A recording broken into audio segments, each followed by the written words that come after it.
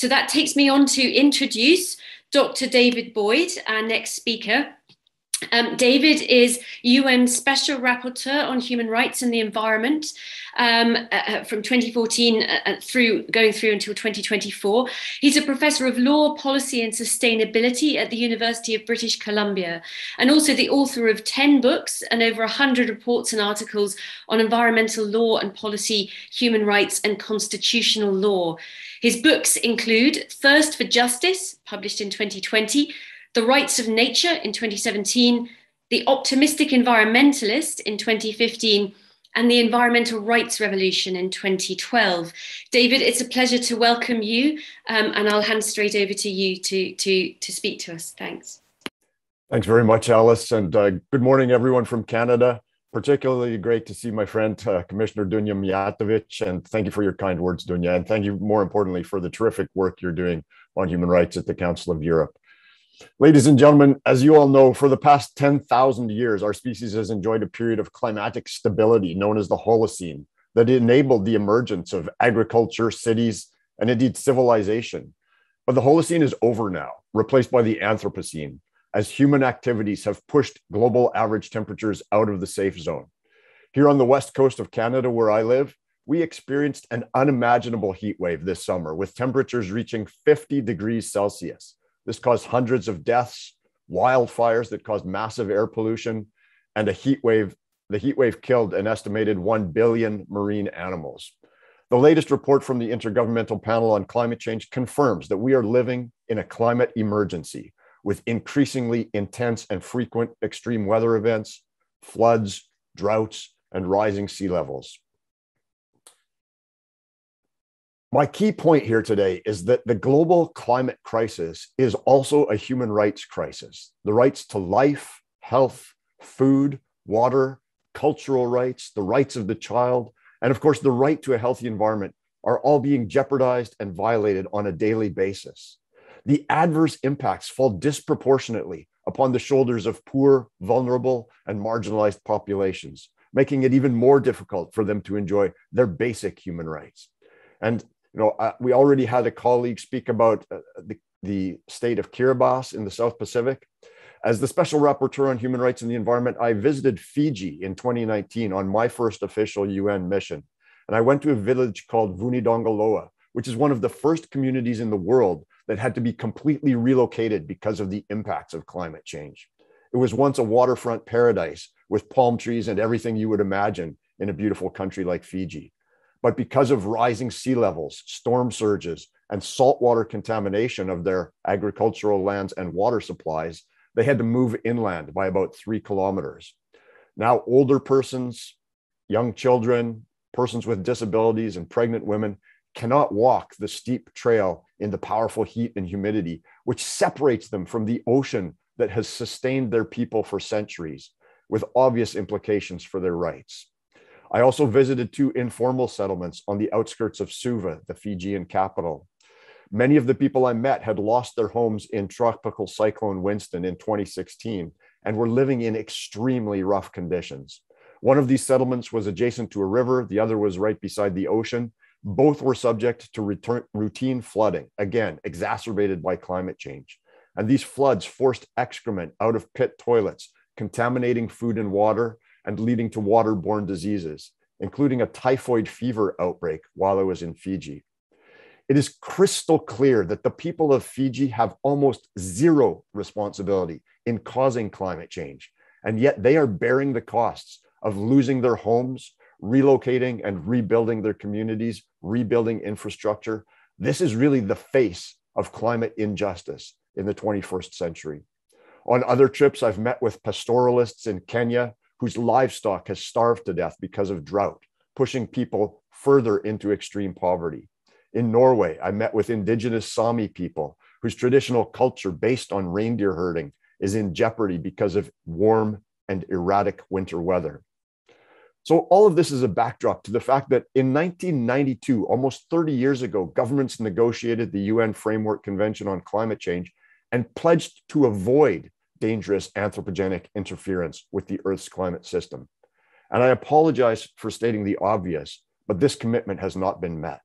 coal use, natural gas use, and oil use have all skyrocketed. Global greenhouse gas emissions have risen by almost 65% since 1992, and humanity is nowhere near achieving the emissions reductions needed to limit global warming to 1.5 or even 2 degrees as committed in the Paris Agreement. The Achilles heel of international environmental law is a lack of compliance and enforcement mechanisms, which produces this lack of accountability. And that's where human rights have such a powerful role to play. We know from the events of recent centuries that human rights can be a catalyst for transformative changes in society. The abolitionists invoked freedom and equality in successfully ending slavery. Women, the civil rights movement, the anti apartheid movement, and indigenous peoples have all used human rights as catalysts for societal transformation. It's never easy or instant, and human rights are by no means omnipotent, but history does prove that rights can be game changers. And one of the most powerful rights based approaches in the context of the climate crisis is the right to a healthy environment, which, as Dunja mentioned, was just recently recognized by the Human Rights Council just two and a half weeks ago. And the recognition of this right has already sparked transformative changes in some states, from Costa Rica to France, where it's been part of their constitutional framework for some time.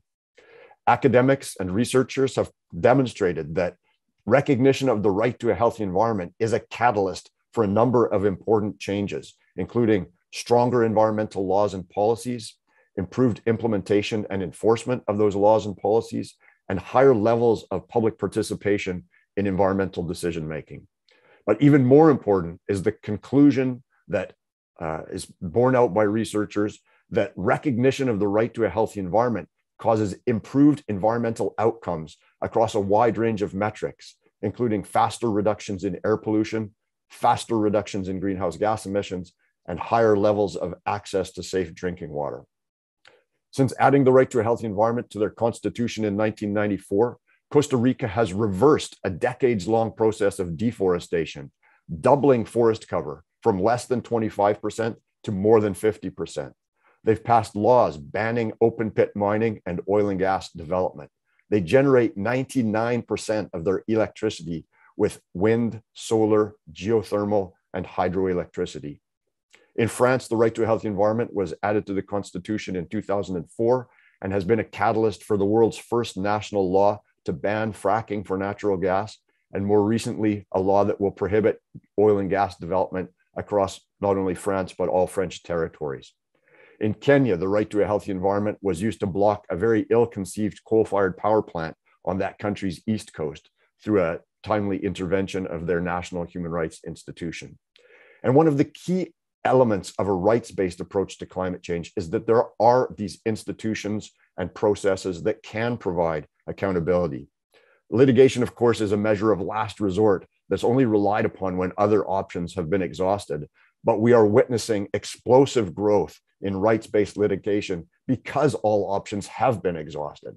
So, in countries including France, the Netherlands, Germany, Switzerland, India, Pakistan, Colombia, Brazil, South Africa, Canada, and more, there are lawsuits alleging that governments are failing to take sufficient climate action to protect human rights, including the rights to life, health, and cultural rights. And courts in these cases are increasingly ordering governments to take more ambitious climate action, setting aside the approval of coal fired power plants, overturning approvals of pipelines and other fossil fuel infrastructure, and ordering actions to stop deforestation. Early research indicates that these types of cases are more likely to succeed in states that recognize the right to a healthy environment. A few months ago, the Constitutional Court of Germany ordered the government uh, to take more ambitious climate action. And within weeks, the German government had agreed to cut emissions 65% by 2030 and accelerate their target for getting to net zero. In Colombia, 25 children and youth won a case at the Supreme Court that found their right to a healthy environment was being violated by deforestation in the Colombian portion of the Amazon.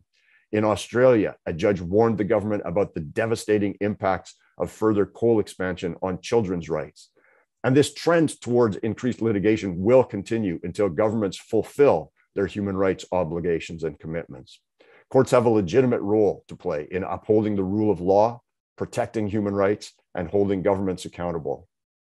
The recent recognition by the UN Human Rights Council of the right to a clean, healthy, and sustainable environment is a historic moment.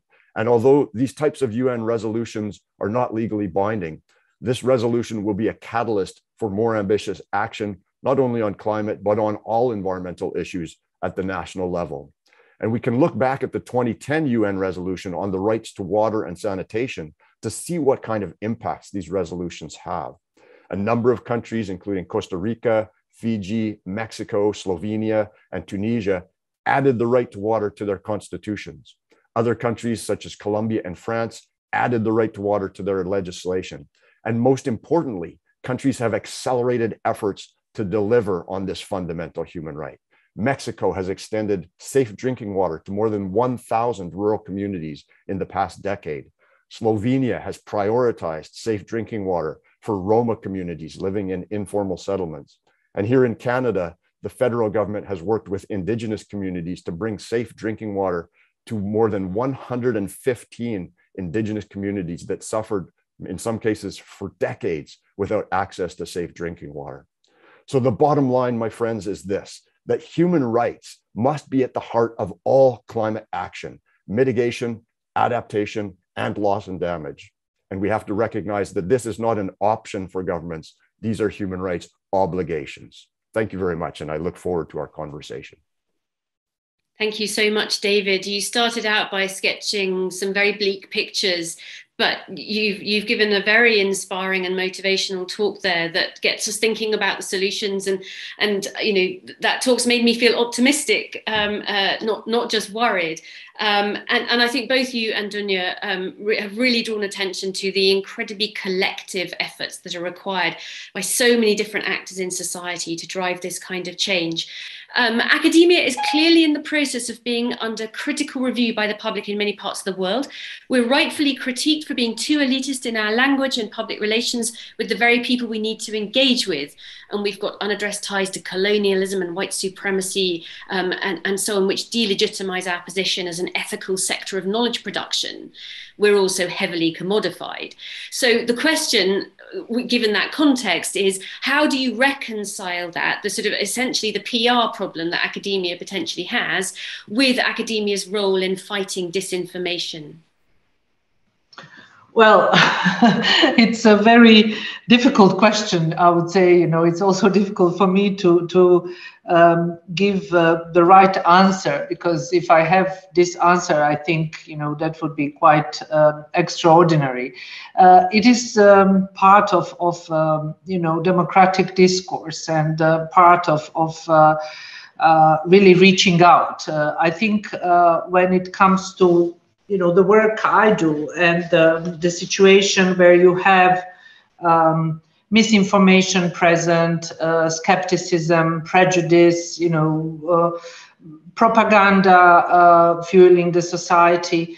Um, reaching out and talking to people and being more approachable uh, is is a way to to to deal with many of the things, including uh, when it comes to skepticism in relation to some issues that were mentioned in this uh, uh, question. If, if you uh, uh, can you know really see it as a, as a question it is a more a statement of the current uh, challenges academia and our societies are facing. So this is also a two, two-way road. It's not only up to academia it's up to all of us to try to find the right I'm not sure if it is balanced, but the right way uh, uh, how to deal with this. This in no way means that academia, because of this, should be excluded.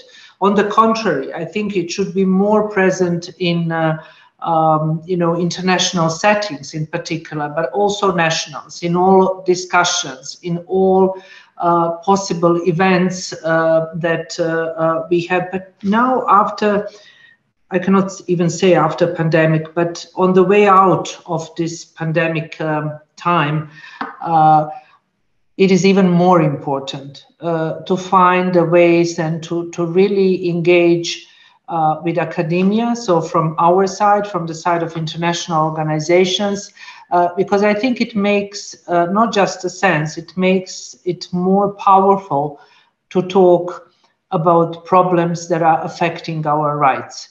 Uh, so yeah, that's how I uh, see it. But uh, as I said, no um, spectacularly uh, uh, clever reply that I can give on this, apart from you know really calling for more engagement.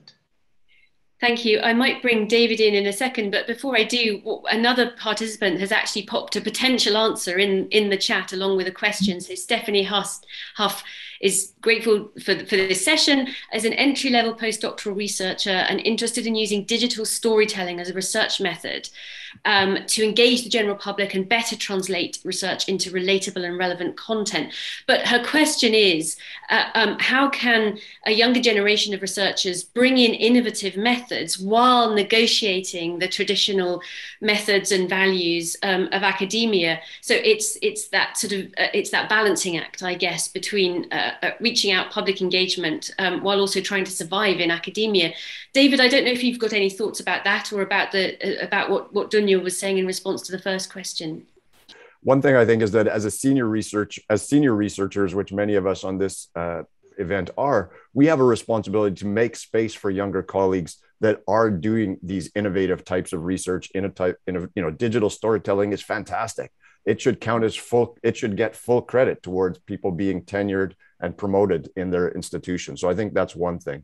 Another thing, which we haven't, which Dunja and I haven't mentioned, which I think is really important in this discussion, uh, part of the question was about disinformation. And my colleague Marcos Orellana, who's the special rapporteur on toxics and human rights, just published a phenomenal report on the right to science, which we don't talk about a lot. But the right to science is a really important human right, which can be used as a tool to combat disinformation. So I think that I would really recommend people take a look at that.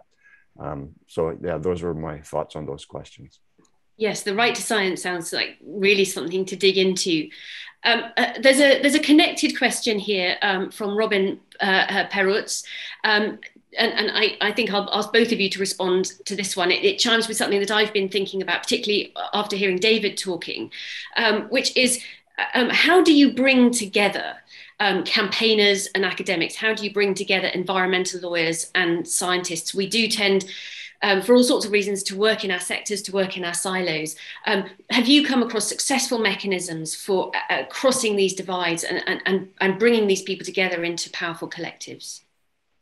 Yeah, uh, let me just jump in straight into that question because you know the the this recent resolution from the UN Human Rights Council was the product of an incredible collaboration by thousands of people around the world.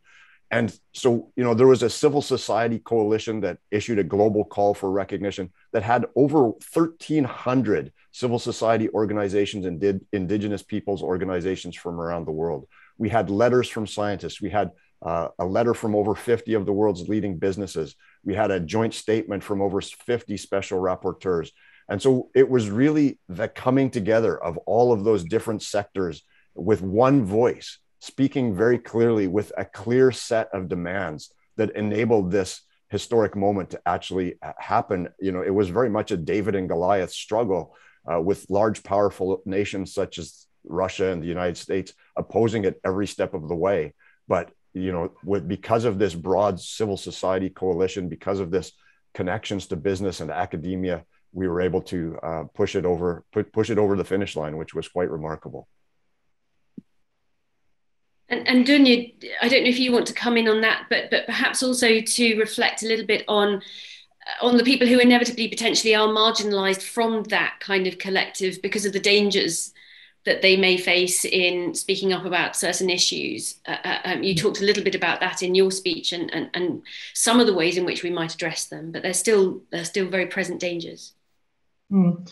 Um, just on, on, on, on the first issue on how you make sure that uh, uh, all um, stakeholders are included. Uh, th this uh, example uh, that David used is just a perfect example. But what we have uh, now at the Council of Europe, 8 to 10 December, we have World Forum um, for Democracy. Um, with the title "Can Democracy Save the Environment?" And in this, um, you know, event, uh, which is happening uh, for for you know one or, or three days actually, uh, you of course bring civil society, you bring academia, you you bring uh, different uh, interlocutors, including businesses, which is also important, and we should not forget about this, particularly if we talk about the environment. But when it comes to threats, as I stated, I, I decided to really focus on on uh, working with human rights defenders defending environment, particularly because of this reason how to uh, reach out to them and how to make them more powerful in uh, not just uh, sharing their experience, but reaching out to explain uh, what happened to them. And what I can say uh, when it comes to trust uh, in talking to um, my office, and me personally, that's not an issue because we have a long standing um, experience and legacy uh, in talking to activists, human rights defenders in the most uh, difficult environments um, and states uh, in order to make sure that the mandate is used in the right way to remind the governments uh, not to be uh, engaging in such uh, actions. Unfortunately, this is not a case. and as we speak, there are situations where um, not just uh, uh, human rights defenders, but also journalists uh, reporting about these um, events uh, and uh, members of uh, the society are also very much affected. so I think this is important to recognize as a real threat. as a threat to their rights, in order to be more visible and more um, active on this, and this is already happening uh, at the different international organizations, including uh, the UN and uh, uh, some some some other organizations. How to overcome these problems? Uh, it will, um, you know, the time will tell. But I think the attention and also uh, the fact that more and more young people are demanding changes is this is also going to help. it, it is more exposed, it is more visible, and then it is also uh, more easy to, to tackle it. In my country visits, um, each and every time uh, now uh, I try to tackle this issue, also to meet with people, which is extremely important, and talk to them in order to be able to uh, really not just put the right words on, on, on paper, but actually to take actions in talking to the governments and also uh, giving voice to the ones that are uh, silenced. And uh, unfortunately, there are too many uh, like this. Thank you. So, so visibility and again collective action um, help to create momentum. Um, I think we've got time just for one more question. So, what I'm going to do is compress two in the chat. So uh, um, there's one question uh, um, about uh, um, uh, what. So now that the right to a healthy environment has been recognised, what difference might that actually make? Um, and, and a, a, sort of related question, which is again, you know, following the recent UN resolution, um, what do you see as the barriers or sticking points for change? So maybe we can come to David and, and then Dunja um, for a final word.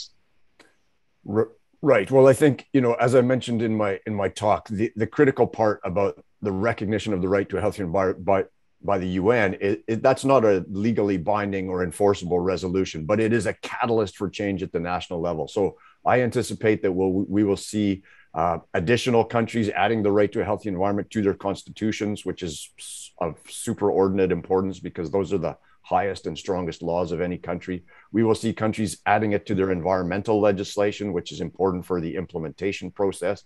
And most importantly, I think we'll see citizens around the, the world, environmental human rights defenders, women, indigenous peoples, using this right as a tool to advance their human rights, to advance their interests in not only a safe and stable climate, but also clean air, healthy and healthy and ecosystems and biodiversity, healthy and sustainably produced food, safe drinking water, and non toxic environments where people can live, work, study, and play. So it really is a, a game changing solution. We're already starting to see impacts at the meeting of the parties to the Aarhus Convention that Dunja mentioned in her speech.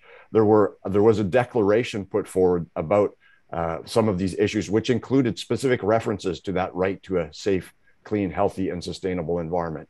And I think that it's critically important as we now enter the COP26 that people really focus on this rights based approach to climate change. Human rights should be at the center of every nationally de- determined contribution. They should be at the center of every long term decarbonization plan.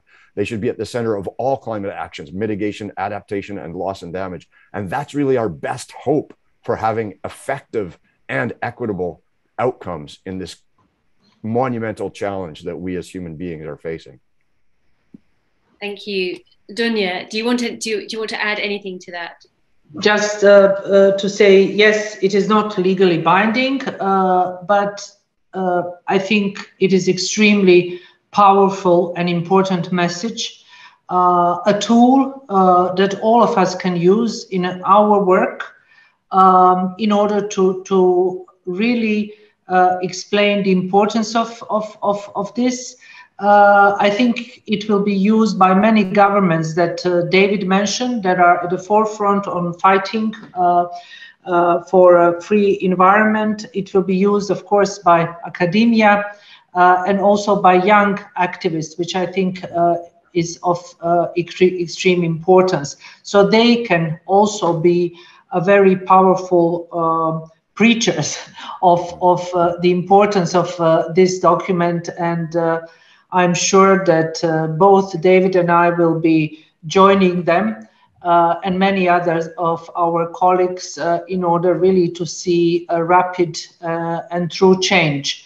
Because I think we are very good in producing documents and uh, making uh, um, our voices heard also in international fora but we need action. The time now is for real action uh, because if this does not happen, um, we can really, um, you know, be in a very, very difficult situation, and it will come back uh, at us as a boomerang, uh, which is already happening in in many parts of the world. Thank you. Well, I, I, think that is a good note uh, on which actually to thank both of you Commissioner Dunja Mijatovic and um, Dr. David Boyd, not just for kickstarting um, uh, the, the afternoon set of talks with really inspiring and informative discussions, but also for all the work you have done in your careers, um, getting us to this point um, where we're you know, able to talk about this new resolution.